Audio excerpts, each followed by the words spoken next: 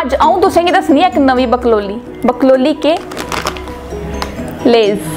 ਤੁਸੀਂ ਸੋਚਾ ਤਾਂ ਨਹੀਂ ਕਿ ਲੇਜ਼ ਦੀ ਮੈਂ ਕੋਈ ਐਡਵਰਟਾਈਜ਼ਮੈਂਟ ਕਰਾਨੀ ਹੈ ਤੇ ਇਹ ਗੱਲ ਤੁਸੀਂ ਗਲਤ ਸੋਚਾ ਰਹੇ ਹੋ ਕਿ ਕਿ ਅੱਜ ਮੈਂ ਗਈ ਇੱਕ ਦੁਕਾਨ ਉੱਪਰ ਤੇ ਮੀ ਦੁਕਾਨਦਾਰ ਨੇ ਆਖਿਆ, ਮੈਂ ਉਸੇ ਆਖਿਆ, ਲੇਜ਼ ਦਾ ਇੱਕ ਪੈਕਟ ਫੜਾਇਓ। ਦੁਕਾਨਦਾਰ ਨੇ ਮੀ ਆਖਿਆ, ਭਾਈ ਇਹ ਲੇਜ਼ ਦਾ ਪੈਕਟ ਹੈ ਤੇ ਇਹਦੇ ਕੰਨੇ ਨਾ ਇੱਕ ਕੂਪਨ ਵੀ ਫ੍ਰੀ ਤੋਂ ਦਾ, ਇਹਦੇ ਚ ਕੂਪਨ ਹੈ ਇੱਕ। ਮੈਂ ਸੋਚਿਆ, ਚਲੋ ਹੋਣਾ ਕੋਈ ਰਿਚਾਰਜ ਰਚੂ ਦਾ ਕੂਪਨ। ਮੈਂ ਲਈ ਆਈ, ਮੈਂ ਦੋ ਬਈ ਅੱਗੇ ਦੇਖਿਆ ਫ੍ਰੀ ਮੈਂ ਖੁਸ਼ ਹੋਏਗੀ। ਲੇਕਿਨ ਜਦੋਂ ਲਿਖਿਆ ਮੈਂ ਫ੍ਰੀ 2 GB ਡਾਟਾ ਮੂੰਹ ਮੇਰਾ ਉਤਰੀ ਆ।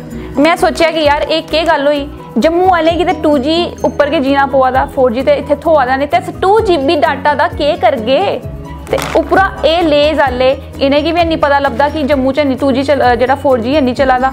ਨਾ ਹੀ ਏਅਰਟੈਲ ਵਾਲੇ ਕੀ ਪਤਾ ਕਿ ਜੰਮੂ ਚ ਜਿਹੜਾ 4G ਚੱਲਾਦਾ? ਤੇ ਨਾ ਹੀ ਜਿਹੜੇ ਸਾਡੇ ਨੇਤਾ ਲੋਕ, ਜਿਹੜੀ ਸਰਕਾਰ ਹੈ ਉਹਨੇ ਕੀ ਵੀ ਨਹੀਂ ਪਤਾ ਕਿ ਸਾਡੇ ਜੰਮੂ ਚ 4G ਚੱਲਦਾ ਨਹੀਂ ਹੈ 2G ਚੱਲਾਦਾ? ਲੇਕਿਨ ਮੈਂ ਇਸ ਨਹੀਂ ਹੋਣਾ ਕਿ ਅਸ ਲੇਜ਼ ਦੇ ਭੁੱਖੇ ਨਹੀਂ ਆ।